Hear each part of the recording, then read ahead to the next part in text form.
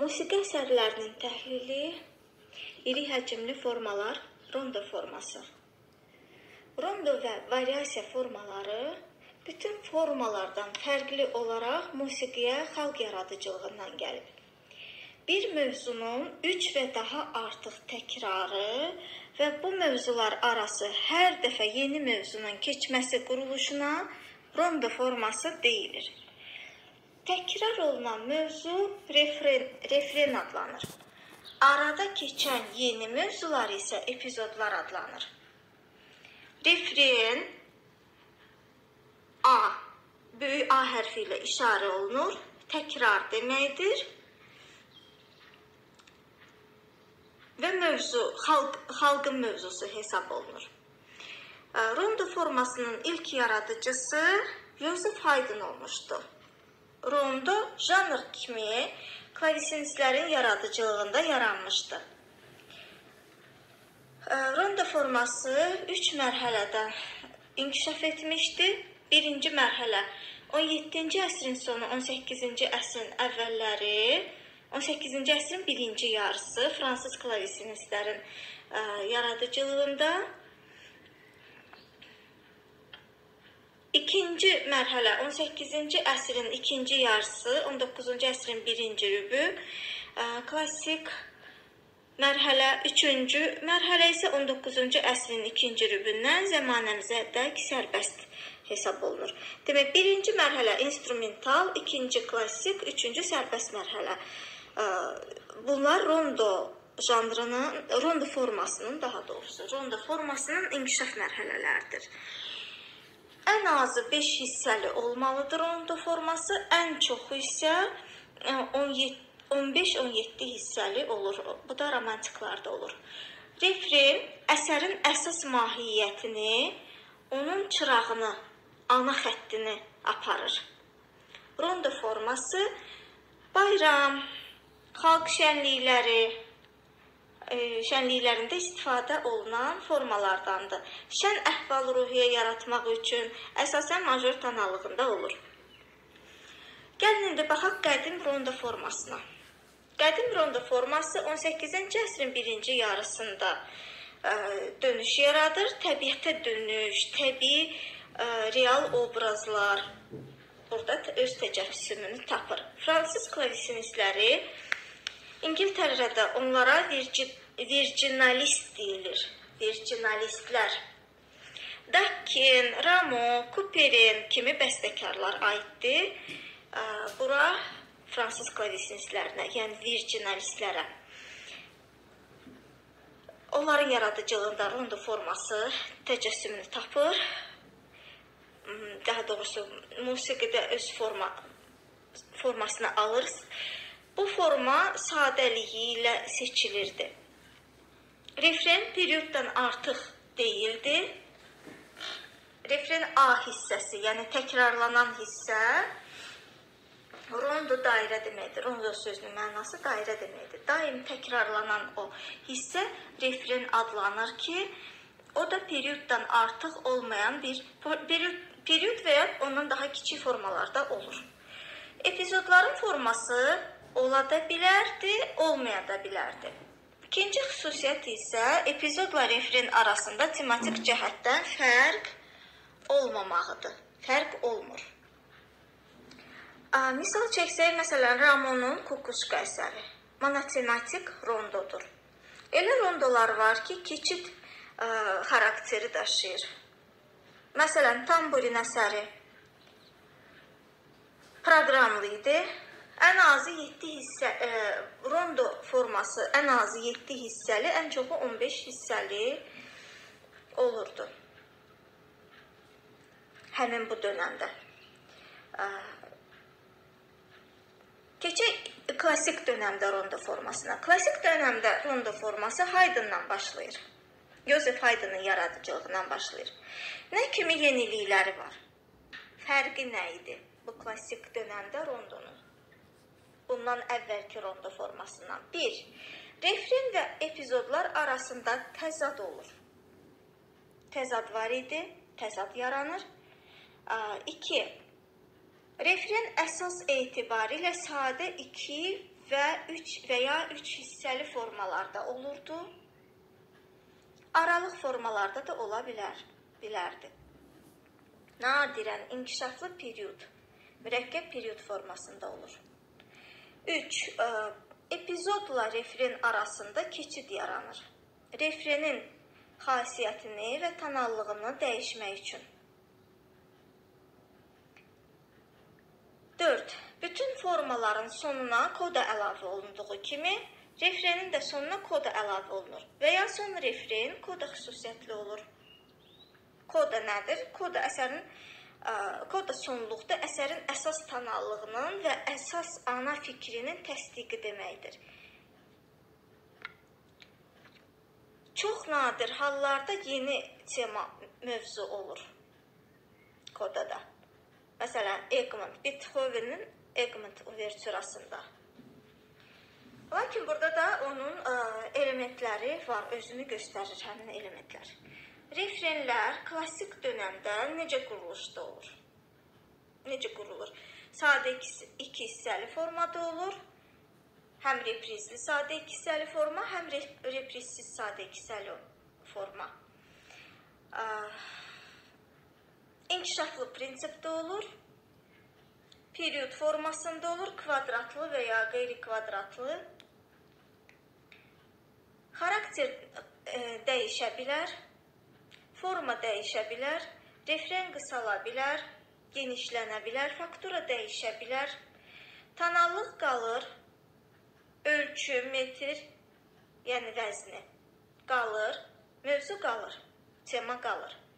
Birinci e epizod əsas etibarilə ə, major tonallığında olur. Məsələn, do major, sol major, do minor, mi bemol major. Major tonallığında olur. Yəni birinci ə, dediyim tonallıq ə, refrenə aiddir. Sonata forması e, sonata formasının əsası da buradan rondo formasından götürülmüşdür. Xarakterinə görə fərqlənmir. Forma ola da bilər, olmaya da bilər. İkinci epizod daha ziddiyyətli epizoddur. Tonallığı bəzən eyni adlı olur. Bəzən subdominanta tonallığı olur. Temasına görə mövzu baxımından ziddiyyətli olur. Bir qədər mürəkkəb üç hissəli forma ə, epizodunu xatırladır. Hər hissə daxilində genişlənmə olur. Üç hissəli olur adətən və ya az, sayı azalır hissələrinin. Ən azı 5, ə, ən çox isə 7-9 hissəli olur. 7 hissəli rondo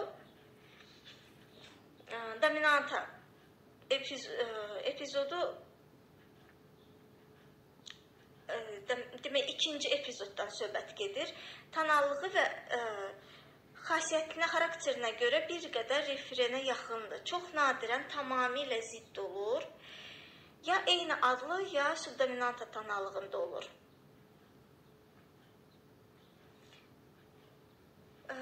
Ziddiyyətli epizodlardan sonra keçid olur. Dominanta tonikaya e, həll olunması olur burada. Rondo formasında ə, e,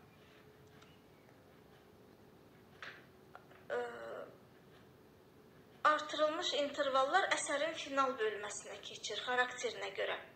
Sonata simfonik silsilənin final bölməsində olur. Sonata simfonik ə, silsilələrdə əsasən ə, final bölməsində olur rondo forması rondo janrı və rondo forması. Bunlar bir-birindən janr 5 hissəlidir. Forma isə mürəkkəb 3 hissəli olur. Mozart ə, Mozartın yaradıcılığında daha bariz nümunələrini göstərmək olar.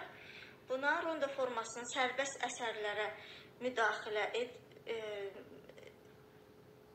sərbəst əsərlərin bir hissəsi olur, belə deyək. Ronda forması demək, ronda sanata əvvəl Mozart ə, Ronda sonata Məsələn, Haydnın London simfoniyalarının finalı, daha sonra Beethoven-də ə, rast gəlinir. Mozart-da, Haydn-da, daha sonra da Beethoven-də rast gəlinir.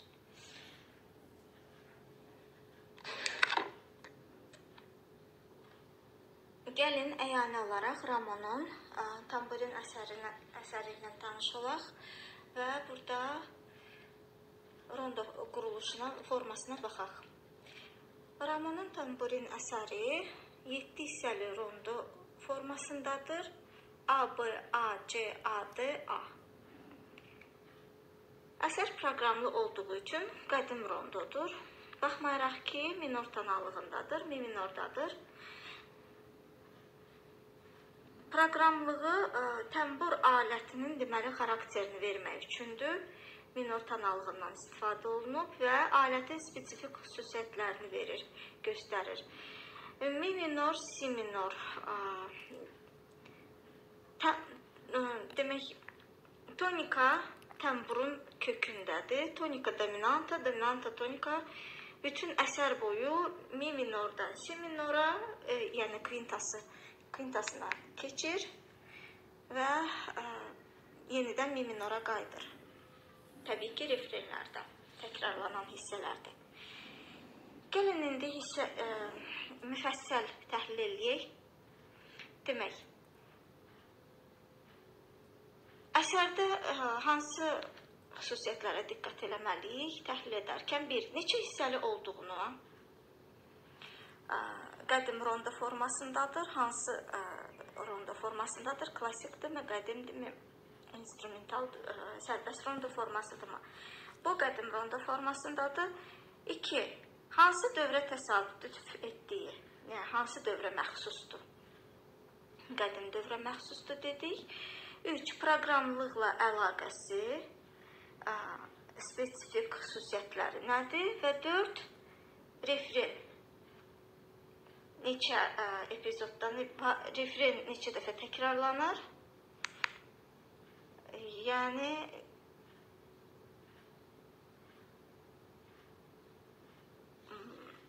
epizodlar refrenlə epizodların sayı. Bu əsərdə 4 demək refren var, 5 epizod var. Buronda formasında epizodlar keçid xarakteri daşıyır. Hər dəfə yeni xarakteri ə, alır yeni xarakter alır. Forması yoxdur bunların. Epizodların forması yoxdur. Refren isə kvadrat quruluşa malikdir. Təkrar quruluşlu kvadrat period formasında yazılıb. İki cümlədən ibarətdir. 4 xanə Birinci cümlə 4 xanə, işte gəl ikinci cümlə 4 xanədən ibarətdir. Çox sadə quruluşa malikdir. Təkrarında dəyişiklik yoxdur. Yekun refren sonluq xarakteri daşıyır. Bir balaca dəyişiklik, inkişaf var burada. Epizod. Epizod müstəqil mövzu deyil, forması yoxdur. Keçid xarakteri daşıyır. Ele, e, ikinci elementin inkişafı üzərində qurulub. İnkişaf, ikinci element burada refrenin ikinci elementi inkişaf olunur. Bu epizodda refren tematik, refrenin tematik özəyi üç xanə çox aydın görünür. C epizodunda dəyişilmiş variantıdır, daha təzadlıdır. Harmonik dəyişikliklər var. Si minor tonallığında keçir. Xromatizmlər var. İkinci elementdə də dəyişil, dəyişilmə var, daha inkişaflıdır. İki musiqi elementi var burada. Birinci element birinci epizod, ikinci element ikinci ə, refrenin birinci elementi demək.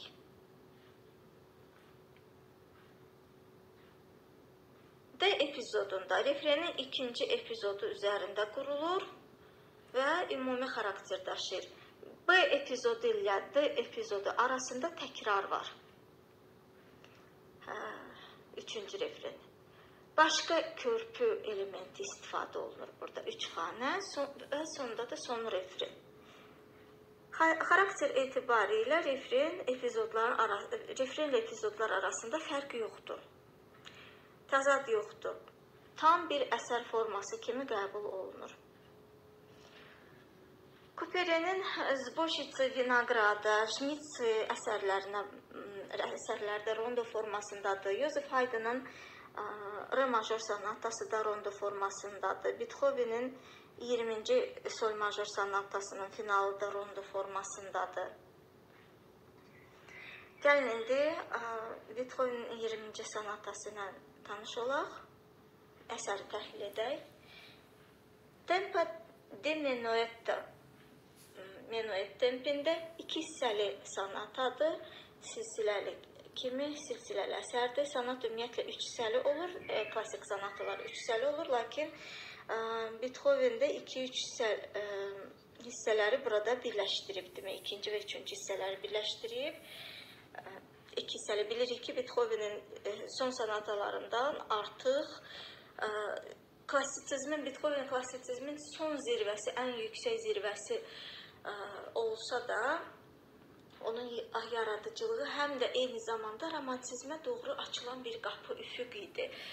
Ə, və onun yaradıcılığında romantizmin cücərtiləri səpilmişdi və bu ə, sanatada məhz iki hissəli olması ilə ə, klassik çərçivələri qırır və romantizm elementlərini özündə əks etdirir.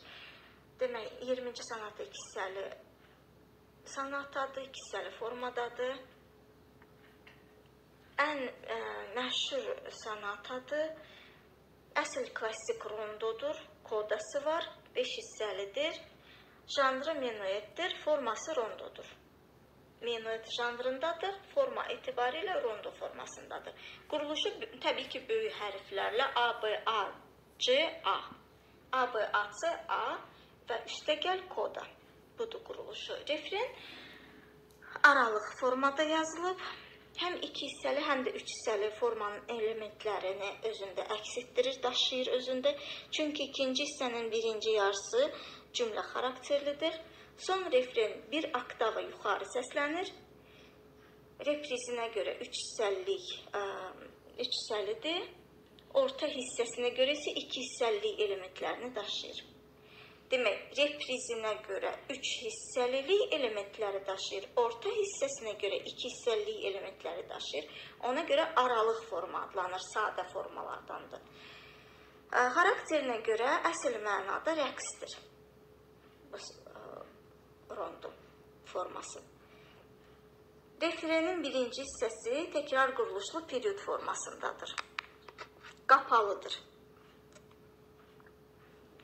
eyni faktora əsasında qurulmuşdur. Kvadratlı perioddur, kvadratlıdır. Xalq ə, şənliyini təsvir etdiyi üçün harmoniyası çox sadədir. Dominanta tonika əsasında qurulmuşdur.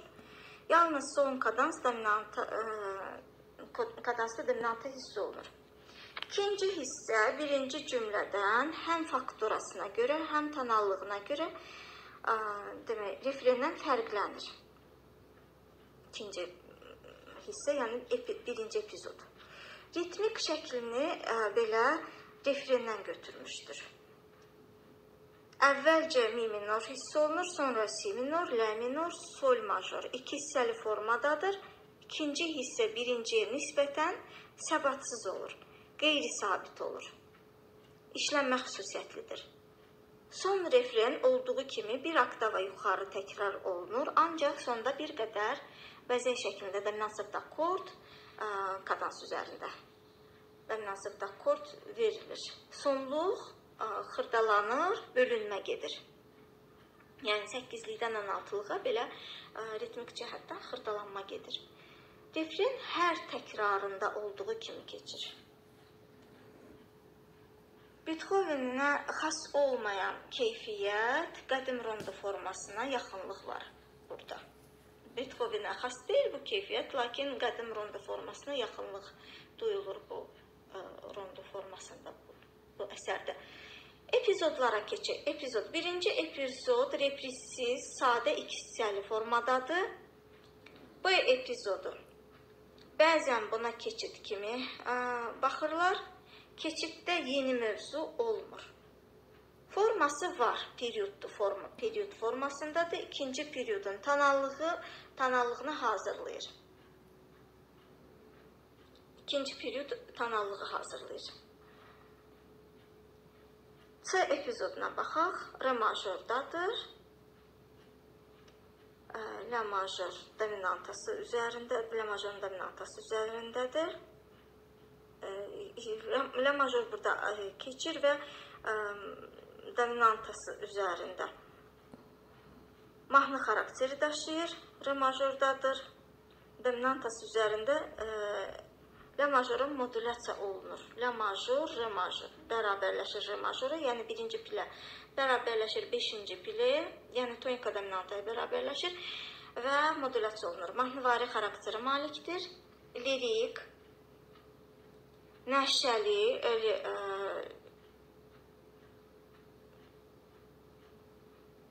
lirik xarakter, nəşəli lirik xarakterdədir. Tam kamil kadansla bitir tam bitmiş kadans da deyilir buna. Kadansın təkrarı əlavədir. Kadans təkrar olunur. Birinci hissənin qammavari, yəni körpü ə, deyirik buna. Qammavari hərəkəti ə, hərəkətli motivi əsasında qurulur. Əlavə təsdiqdir bu koda. Sonra re major da körpü başlanır. C epizodu refrenin ritmik şəklini hazırlayır. Tonika üzərində xarakterini hazırlayır. İkinci epizod do major tonallığındadır, sol majora görə dominantı tonallığıdır. Birinci epizod fərqli olaraq ə, təkrar quruluşlu perioddur. Xarakterinə görə daha təntənəli xarakter daşıyır və bu da xalq mövzusuna tipik tərzdə verilir. Çünki başda arqan punktu keçir. Yalnız ikinci cümlədə. Period formasında olması, e, period formasında olmasına baxmayaraq zid quruluşludur. Yəni təzadlı quruluş quruluşa malikdir. Birinci sekstalarla, ikinci isə tersiyalarla. Tersiyalarla ə, e, solo daxildir bura. A, A yəni refren refrendə sonluq dəyişir. Həm ə, refrenə görə, həm də epizoda görə daha təntənəlidir, daha təntənəli xarakterə malikdir. İkinci cümlənin sonu dəyişmir, təkrar quruluşludur. Təkrar quruluşlu perioddur, period quruluşundadır.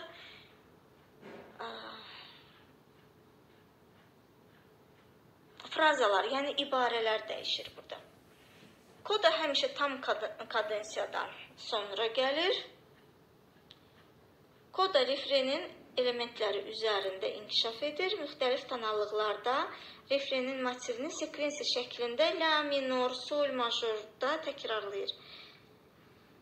Sonra birinci epizodun birinci elementi, birinci hissənin yürüyüş teması təsdiq olunur və bu da olur sintetik koda.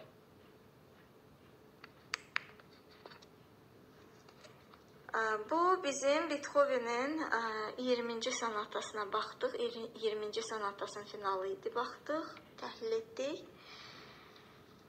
Eləcə də Beethoven'in 8-ci sonatası do minor tonallığında olan patetik adlanan 8 nömrəli sonatasının ikinci hissəsinin təhlilinə baxırıq. Nadir əsərdir quruluşuna görə. 5 hissəli rondo formasındadır. Struktur quruluşuna görə Hər iki forma var burada. Andante cantabile. Janrı mürəkkəb üç hissəli formadadır. Quruluşuna görə 5 hissəli rondo formasındadır. Mürəkkəb period formasındadır. İki dəfə təkrar olunan perioddan ibarətdir. B epizod refrendən fərqlənir. Burada qadın xüsusiyyətləri var. İçdən gələn bir mövzudur. Bir cümləli perioddur, açıqdır, açıq perioddur, fa minor quruluşundadır, fa minor tonallığındadır və mi bemol majora keçir. İkinci epizod ə, xarakterinə görə inkişaf prinsipinə görə mürəkkəb üç hissəli ə, formadadır. C epizodunu xatırladır. Kodası var. Kodası var, refrenin təsdiqi kimi verilir. Refren 16 xanədən ibarətdir. Artırılmışdı. İkinci yeni inkişaf ə, təkrar olunur. Ə, fəlsəfi düşüncə, duetliliyi var burada. Rondo formasının xarakteri yoxdur. Sərbəst xarakteri yoxdur. İkinci dəfə refren qısaldılır. Yalnız birinci periodun birinci ə, cümləsi təkrar olunur. Üçüncü dəfə isə C epizodu ə, C epizodunun xarakterik ritmik quruluşu dəyişir. C epizodunun xarakteri tə, xarakterinin təsiri altında qalır. Tema dəyişmir, mövzu dəyişmir. Hər iki period ə, keçir burada epizodlara keçək. Epizod birinci epizod tamamilə refrenə ziddir. Xaraktercə, fakturasına görə, formasına, janrına görə səbatsızdır, qeyri-sabitdir. Yarım kadansı yoxdur. Harmoniyaları rəngarəngdir. Fa minordan başlayır. 7-ci pilləyə natural ə, mi bemol majora keçir. Natural 7-ci pilləyə, yəni pilləyə ə, modulyasiya edir. Klassik ənənələri sadiq qalmasına baxmayaraq romantizm elementləri hiss olunur burada. Birinci epizoddan refrenə keçid var. Lə bemol majorun dominantası, dominantasına. Əvvəl mi bemol majorun dominantası, sonra lə bemol majora keçir. Və refrendən əvvəl lə bemol majora həll olur. Xromatik ə, səslər var burada fakturasına görə. Xromatizm var. C epizodu eyni adlı. Lə bemol major, lə bemol minor. Eyni adlı tonallıqda keçir. Dialoq var. Qadının həyəcanları təsvir olunur burada. Beethoven və qadının duetidir sanki. Sonra mi, mi majora modulyasiya olunur və böyük bir körpü, enharmonik modulyasiya baş verir və həyəcanın təsiri altında refren gəlir trillərlə. C epizodu mürəkkəb üçsəli formaya bənzəyir.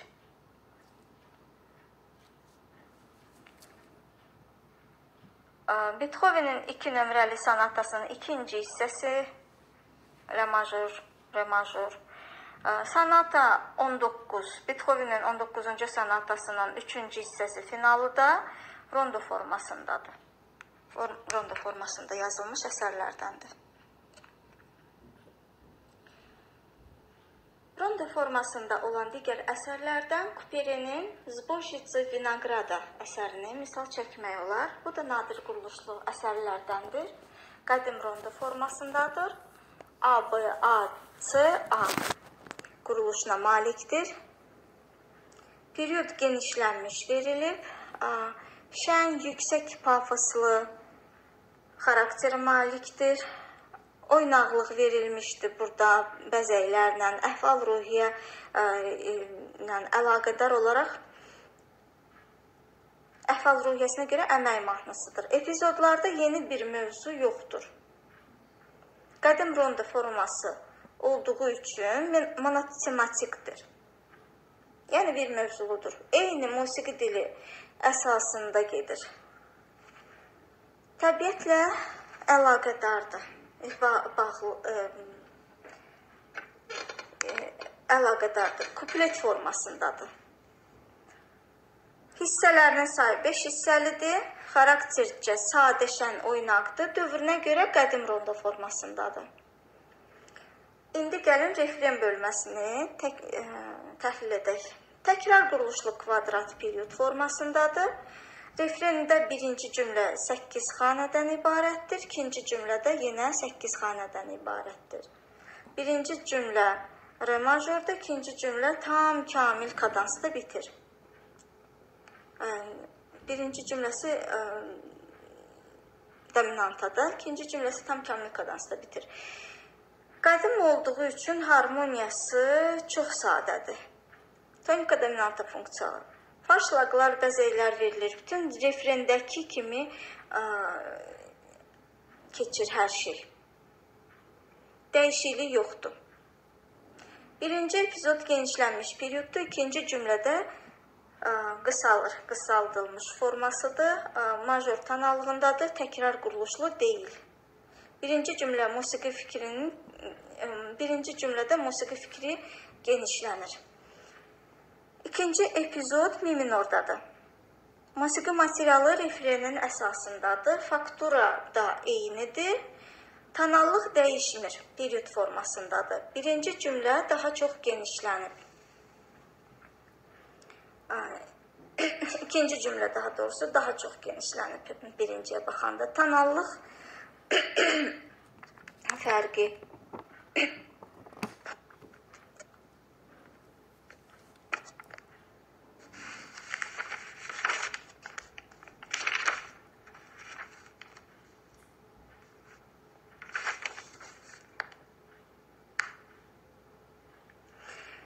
Kuperyenin Jnitsi əsəri də ə, rondo formasındadır. Buna da diqqət eləyək, nəzər yetirək və təhlil eləyək. 7 hissəli rondo formasındadır. A, B, A, quruluşuna malikdir. Biçinçilər rəqsidir, qədim rəqs janrıdır. Tempi oynaqdır, şəndir. Qavot rəqsini xatırladır bu əsər qədim xalq rəqsi xarakterində verilmişdi və dəyişmir, dəyişilmir. Tonallıqları dəyişmir. Bütün epizodlar refrenin ardı kimi verilir. Refren 8 xanədən ibarətdir. Birinci cümləsi qeyri kamil kadans, yəni bütöv natamam kadansda tamamlanır. İkinci cümləsi 8 xanəli kvadrat period formasındadır. Təkrar zamanı yenidən A olduğu kimi səslənir. Yəni refren olduğu kimi səslənir. B epizodu cəmi 4 xanədir. Çox qısadır. Fa majordan si bemol majora keçir.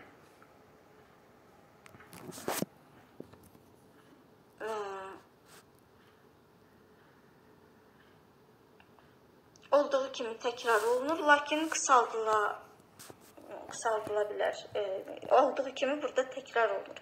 C epizodu iki cümlədən ibarətdir. Sol minorda başlayır. Refren paralel minoruna e, modulyasiya edir mi bemol majora. 6-cı pillə kimi, demək və keçid kimi refreni hazırlayır. D epizodu refrenin mövzusu əsasında si bemol majorundadır, tonallığındadır, dominora keçir, forması sərbəstdir. Son epizod olduğu üçün daha sərbəstdir. Tematik quruluşuna görə A-ya, yəni ə, refrenə yaxınlaş, yaxındır, genişlənib, inkişaf prosesi keçib, ə, e, təkrar hesabına inkişaf, inkişaf, ə, e, inkişaflıdır. Bu da Kuperinin e, Jnitsi əsəri idi ki, e, qədim ronda formasında təhlil etdi.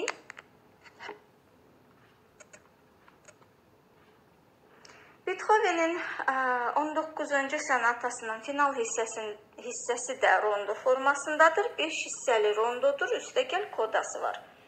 Bu klassik rondo quruluşundadır. E, bu barədə növbəti e, videoda ətraflı məlumat verib, ondan sonra bu əsərin təhlilinə keçəcəyik.